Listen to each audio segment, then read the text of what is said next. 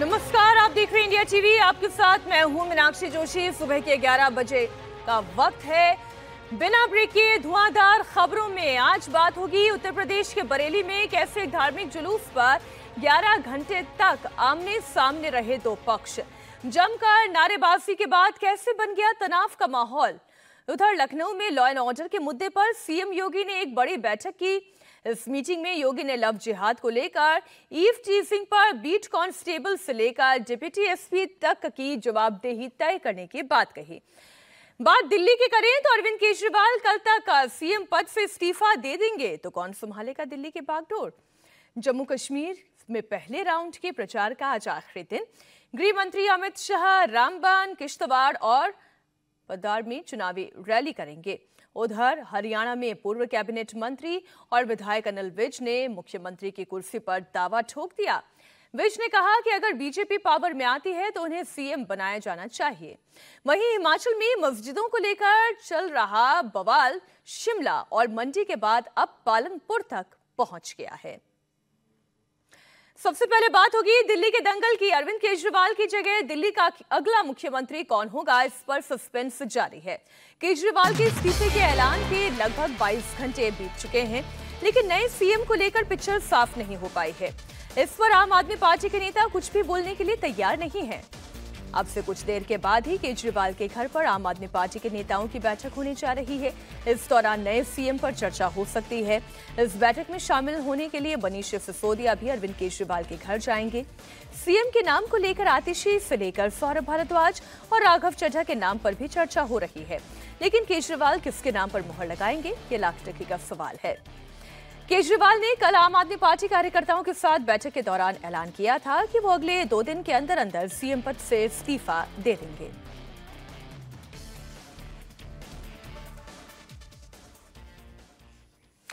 सबकी नज़रें कल होने वाली विधायक दल की बैठक पर है और अरविंद केजरीवाल के इस्तीफे के बाद होने वाली इस बैठक में दिल्ली का नया सीएम चुना जाएगा। अरविंद केजरीवाल ये कह रहे हैं कि वो खुद नहीं चुनने जा रहे हैं सीएम, बल्कि विधायक चुनेंगे सीएम। जिसे विधायक चुनेंगे, उसे ही सीएम बना दिया जाएगा। वहीं सूत्रों के मुताबिक, आतिशी, सौरभ, भारद्वाज, कैलाश गहलोत में से किसी एक को सीएम बनाया जा सकता है। हालाँकि नाम और भी हैं, लेकिन आतिशी, सौरभ, भारद्वाज और कैलाश गहलोत, ये तीन नाम आगे चल रहे हैं। 15 सितंबर की तारीख जब अरविंद केजरीवाल ने इस्तीफा देने का ऐलान कर दिया, लेकिन 48 घंटे का वक्त उन्होंने मांगा और ये वक्त इसलिए मांगा गया क्योंकि अब अगला सीएम कौन होगा?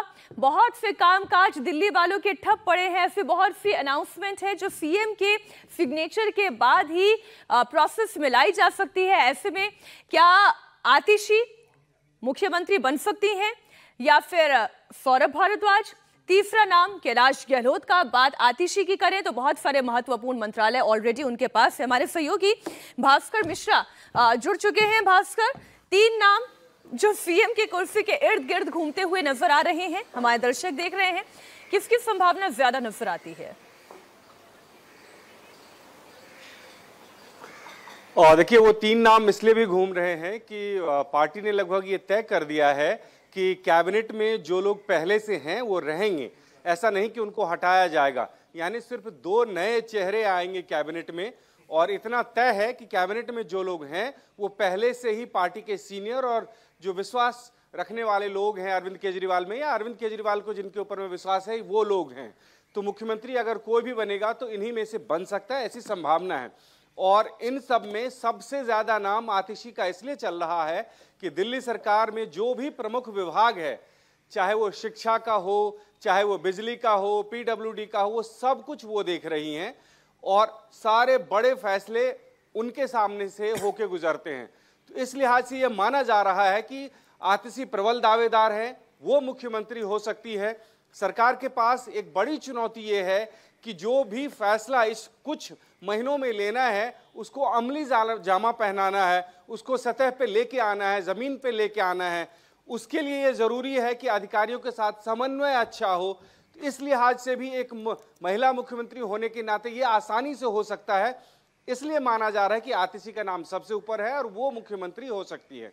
जी बहुत उसके अलावा जो भी नाम है सौरभ भारद्वाज इससे पहले भी दिल्ली सरकार में मुख्यमंत्री रह चुके हैं फिर से जी अब इंतज़ार थोड़ा सा और करना होगा इस ऐलान को लेकर। बहुत शुक्रिया भास्कर, पूरी जानकारी के लिए आपका। विधायक दल की मीटिंग में किसे नेता चुना जाएगा, ये सवाल हर किसी के मन में है। दिल्ली की शिक्षा मंत्री आतिशी सिंह का कहना है कि सीएम कौन बनेगा, ये इंपॉर्टेंट नहीं है। सौरभ भारद्वाज कह रहे हैं कि सीएम की कुर्सी केजरीवाल का इंतज़ार करेगी। सीएम कौन बनेगा, ये इम्पोर्टेंट नहीं है। इंपॉर्टेंट ये है कि आम आदमी पार्टी की जब तक सरकार रहेगी, वो दिल्ली की जनता के लिए काम करती रहेगी। लेकिन आज सबसे ज़रूरी हमारे लिए ये है जनता का फैसला। हम चाहते हैं कि अभी चुनाव की घोषणा हो और जनता अपना जनादेश दे कि क्या उनको लगता है अरविंद केजरीवाल ईमानदार है। जब किसी विधानसभा का छः महीने से कम समय रहता है तो केंद्र सरकार और इलेक्शन कमीशन कभी भी चुनाव करवा सकते हैं। तो अगर चुनाव आयोग चाहे तो आज चुनाव की घोषणा कर सकती है। कि जो मुख्यमंत्री की कुर्सी है, ये कुर्सी अरविंद केजरीवाल का इंतज़ार करेगी। और हम विधायक, मंत्री या जो मुख्यमंत्री बने, उस सबका सिर्फ़ एक ही ध्येय होगा कि कैसे जनता की अदालत में इस अग्नि परीक्षा को पार करके अरविंद केजरीवाल जी को उनकी मुख्यमंत्री की कुर्सी पर बिठाया जाए। अब बात होगी उत्तर प्रदेश के बहराइच की, जहाँ भेड़िए की दहशत लगातार जारी है। देर रात आदमखोर ने ऐसा कुछ किया जो कि बहराइच में इससे पहले कभी नहीं हुआ था। खूंखार भेड़िए ने रात ढाई बजे 11 साल के बच्चे पर अटैक कर दिया और भेड़िए ने यह हमला घर की छत पर चढ़कर किया। भेड़िए ने छत पर परिवार के साथ सो रहे इमरान को निशाना बनाया। इमरान की गर्दन पर गहरे घाव हैं। अस्पताल में उसका इलाज चल रहा है। पूरा मामला महसी इलाके के पिपरी मोहन गाँव का है। बहराइच में अब तक पाँच भेड़ियों को पकड़ा गया है। फॉरेस्ट डिपार्टमेंट का दावा है कि अब केवल एक ही भेड़िया बाकी है, लेकिन ये एक भेड़िया लगता है पाँच के बराबर है। पता ये चला है कि यह भेड़िया लंगड़ा नहीं है, बल्कि लंग, तगड़ा है और घात लगाकर हमला करता है।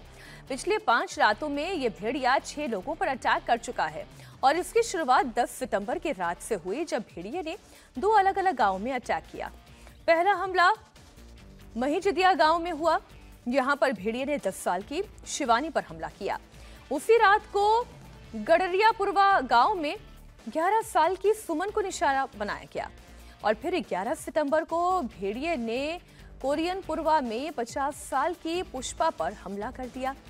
अगली ही रात 12 सितंबर को फिर दो हमले हुए।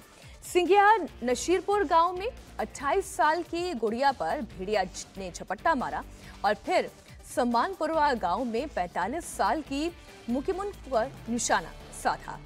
आज 15 सितंबर की रात को पिपरी में, बीती रात की बात कर रहे हैं 15 सितंबर की रात को पिपरी गाँव में 11 साल के इमरान पर हमला किया गया।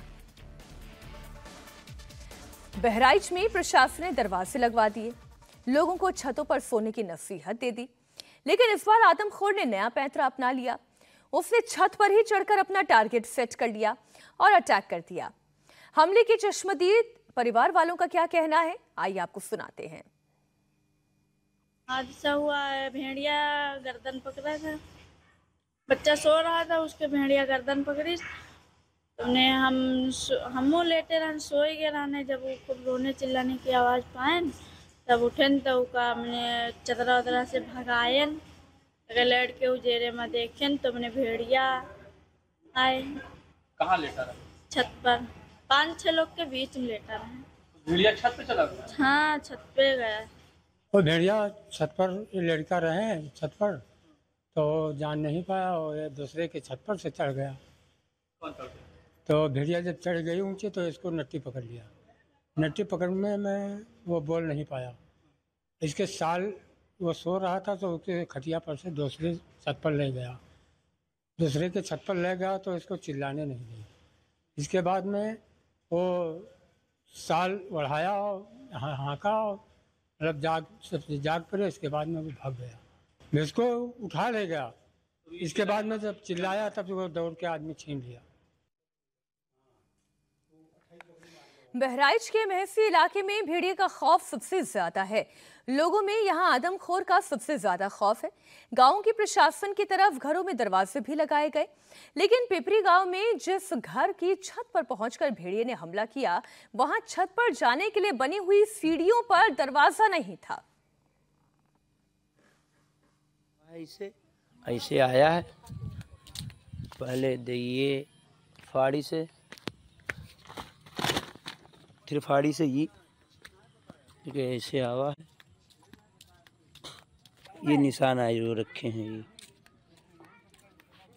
ऐसे आया है, ऐसे ऐसे आया है, ऐसे गया है। ऐसे देखिए ऐसे पूरा पूरा है। ये ऐसे ही आया है, ये रास्ता है जाने की ये दो जीना, इस जीना से नहीं गया है। इस जीना से जा रहा है। ये ये, इस जीना से जा रहा है। इस जीना से उसने चढ़ा है। इस जीना से उसने चढ़ा है। फिर ऐसे गया है। यहाँ पे भी आदमी लेटे थे, वहाँ पे भी आदमी लेटे थे। बहराइच में भेड़िए के डर से लोग बहुत सहमे हुए हैं। लोगों का कहना है कि बहराइच में जो छठा भेड़िया फरार है, वही पकड़े गए भेड़ियों का सरदार है। और वो अब अपने साथियों को के पकड़े जाने के बाद बहुत ज़्यादा खूंखार हो गया है। वन विभाग को भेड़ियों के पगमार्क्स भी लगातार मिल रहे हैं। अब पिपरी मोहन गाँव में जिस रास्ते से जाकर भेड़िए ने अटैक किया, उस रूट पर भेड़ियों के ये पैरों के निशान मिले हैं। और इस वक्त दिल्ली सरकार में मंत्री सौरभ भारद्वाज प्रेस कॉन्फ्रेंस कर रहे हैं। आपको सीधा लिए चलते हैं। को मुफ़्त बिजली दी हो, पानी दिया हो, अस्पताल दिए हो, स्कूल दिए हो, मोहल्ला क्लिनिक दिए हो बुज़ुर्गों को मुफ़्त तीर्थ यात्रा दी हो, महिलाओं को मुफ़्त बस यात्रा दी हो, ऐसे मुख्यमंत्री के पीछे भारतीय जनता पार्टी ने अपनी सारी ताकत लगा दी। आज लोगों के मन में बहुत नाराज़गी है कि एक ईमानदार आदमी के पीछे पूरी की पूरी केंद्र सरकार पड़ गई और उस बेचारे को जेल तक लेके गए। और वो आदमी जब जेल से बाहर निकला तो उसने सत्ता का सुख नहीं भोगा। उसने कहा कि मैं अब जनता की अदालत में जाऊँगा। जब तक जनता नहीं कहेगी, तब तक इस मुख्यमंत्री की कुर्सी पर नहीं बैठूँगा। कई चर्चाएँ हो रही हैं अलग अलग चर्चाएँ हो रही हैं। कुछ लोग तो ये कह रहे हैं कि, सर, सत्युग में सुना था, भगवान राम ने परिस्थितियों वश राजगद्दी का त्याग किया था और चौदह साल के वनवास पे चले गए थे। अयोध्या की सारी जनता रो रही थी बिलक रही थी कि राम आप मत जाइए, आप इस सिंहासन पे बैठिए। मगर मर्यादा के कारण, परिस्थितियों के कारण राम उस सिंहासन को छोड़ के चले गए और चौदह साल के वनवास पे रहे। और उनके पीछे जिसको वो सिंहासन मिला, भरत, उनके भाई, वो भी उनके खड़ाव रख के इंतज़ार करते रहे कि राम वापस आएँगे तो अपना जो है काम संभालेंगे। अरविंद केजरीवाल राम नहीं है। राम तो भगवान थे। भगवान राम के भक्त हनुमान और हनुमान के भक्त अरविंद केजरीवाल जी हैं। वो तो राम से तुलना नहीं की जा सकती। मगर जिस मर्यादा के नाम पे सत्युग में भगवान राम ने अपना सिंहासन छोड़ा था, आज ऐसा उदाहरण दिख रहा है कि एक मर्यादा के नाम पे, एक नैतिकता के नाम पे, एक जनता के हाथ में अपनी पूरी की पूरी बागडोर देने के नाम पे अरविंद केजरीवाल ने इस्तीफा दिया है। और अरविंद केजरीवाल जी ने कहा है, जनता वापस बिठाएगी तो इस कुर्सी पे बैठूँगा, वरना इस कुर्सी पे नहीं बैठूँगा। बहुत बहुत धन्यवाद। आपके पास कोई प्रश्न हो तो आप पूछ सकते हैं। सौरभ जी कल सीएम ने ये भी कहा था कि वो और मनीष दोनों में से कोई सीएम नहीं बनेंगे, नेक्स्ट सीएम। लेकिन नेक्स्ट सीएम कौन होंगे, इसको लेके बहुत चर्चा है। कम से कम इतना बता दीजिए, जो कैबिनेट में आप लोग हैं, उन्हीं में से होंगे या कोई और नया चेहरा होगा? क्या कोई रणनीति बनाई गई है? मैं आपको बताऊँ, आपको जितनी जानकारी है, उतनी ही मुझे जानकारी है। आप जैसे कयास लगा सकते हैं, मैं भी वैसे ही कयास लगा सकता हूँ। मगर आपका कयास लगाना ठीक है। मेरा कयास लगाना ठीक नहीं है, क्योंकि मैं उसका स्टेक होल्डर हूँ। इसलिए जो है, अभी तक मैं आपको ये बता सकता हूँ कि इसके ऊपर कोई चर्चा नहीं है। जैसे ही चर्चा होगी सबसे पहले आप ही को बताना और कहाँ बताएँगे बताओ। आप ही को तो बताएँगे तभी तो आप लोगों को तो बताएँगे। तो जैसे ही चर्चा होगी मैं बताऊँगा। जी जावेद जी। पार्टी में से आम आदमी पार्टी विधायकों में से ही होगा। जो पत्रकारों में भी से हो सकता है। पत्रकार भी मुख्यमंत्री बन सकते हैं। कोई एडिटर भी हो सकता है।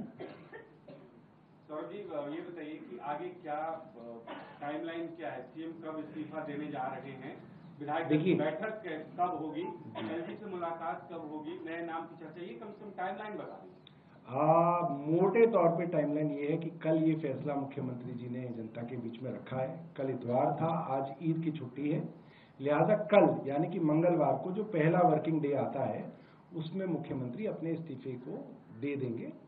और इस्तीफा जैसे ही मंजूर होगा, उसके बाद विधायक दल की जो है बैठक होगी। विधायक दल अपना एक नेता चुनेंगे।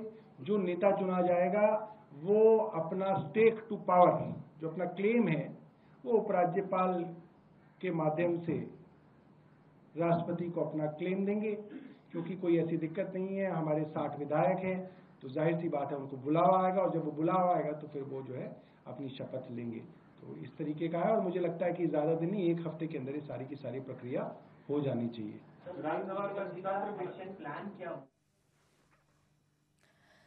आपने सौरभ भारद्वाज को सुना, उन्होंने इंडिया टीवी संवाददाता भास्कर मिश्रा के सवाल पर बोला भी कि जितनी जानकारी इस वक्त आप लोगों को है, उतनी ही जानकारी हमें है। पहले अरविंद केजरीवाल का इस्तीफा होगा, इस्तीफे के बाद विधायक दल की बैठक होगी और उसके बाद जो नाम चुना जाएगा, वो दिल्ली का सीएम बनेगा। हालाँकि उन्होंने ये ज़रूर कहा कि दिल्ली की जनता चाहती है कि जल्द चुनाव हो। अगली खबर की तरफ़ बढ़ते हैं। उत्तर प्रदेश के बरेली में धार्मिक जुलूस को लेकर दो समुदाय आमने सामने आ गए। बारह वफात के जुलूस निकालने के दौरान भारी बवाल हुआ। नारेबाजी हुई, लोगों ने धरना दिया। एक दो घंटे नहीं, बल्कि ग्यारह घंटे तक बवाल चलता रहा। एक पक्ष दूसरे पक्ष पर नई परंपरा शुरू करने का आरोप लगाते रहे। वो सड़कों पर उतरे और इसके बाद जुलूस में आई भीड़ ने हंगामा शुरू कर दिया। जमकर नारेबाजी होने लगी। एक तरफ़ जुलूस और भीड़ थी, दूसरी तरफ़ रास्ता रोके हुए लोग धरने पर बैठ गए। हालात तनावपूर्ण थे। बढ़ते हुए तनाव को देखते हुए फ़ौरन भारी संख्या में पुलिस बल को लगाया गया। पुलिस के आला अधिकारी भी मौके पर पहुँचे। काफ़ी मुश्किलों के बाद हालात पर काबू पाया गया। ताज़ा अपडेट ये है कि पुलिस ने दोनों पक्षों को समझा बुझाकर वापस भेज दिया है। प्रशासन की सूझबूझ से कोई अप्रिय वारदात तो नहीं हुई, ना कोई ऐसी घटना घटी। लेकिन रात में नारेबाजी और हंगामा चलता रहा, प्रशासन के हाथ पाँव फूले रहे।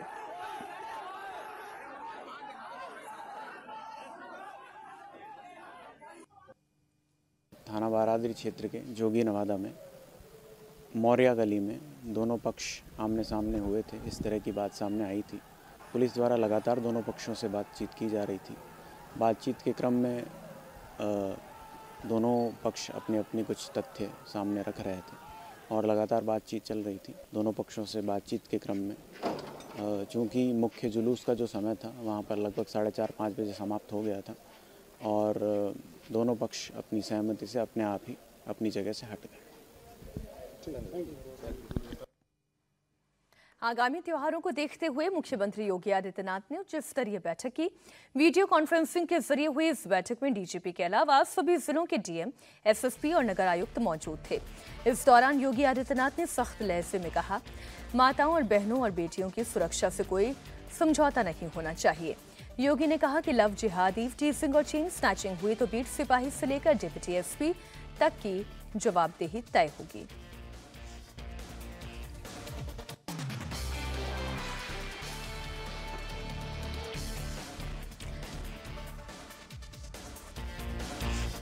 मुख्यमंत्री योगी आदित्यनाथ ने उच्च स्तरीय बैठक की, जिसमें उन्होंने आगामी त्योहारों को देखते हुए इस मीटिंग में सख्त लहजे में ये कह दिया है कि अगर माताओं बहनों की सुरक्षा को लेकर अगर कोई समझौता हुआ, कोई कॉम्प्रोमाइज किया गया, ऐसे में जवाबदेही आला अधिकारियों की तय की जाएगी। तो लॉ एंड ऑर्डर पर योगी आदित्यनाथ का ये सख्त रवैया सामने आया। हिमाचल प्रदेश में अवैध मस्जिद को लेकर हंगामा बढ़ता जा रहा है। राजधानी शिमला और मंडी के बाद अब पालमपुर में भी हंगामा शुरू हो गया है। पालमपुर में मस्जिद के अवैध निर्माण के विरोध में हिंदू संगठनों ने सड़क पर प्रदर्शन किया। अवैध ढांचे को गिराने की मांग को लेकर बड़ी संख्या में संगठन के कार्यकर्ताओं ने रैली निकालकर अपना विरोध दर्ज किया। इस दौरान कई नेताओं ने भीड़ को संबोधित करते हुए मुस्लिम दुकानदारों का आर्थिक बॉयकॉट करने की मांग की। ये तीन तस्वीरें इस वक्त आपके सामने। मंडी और शिमला में पहले से ही बवाल मचा रहा।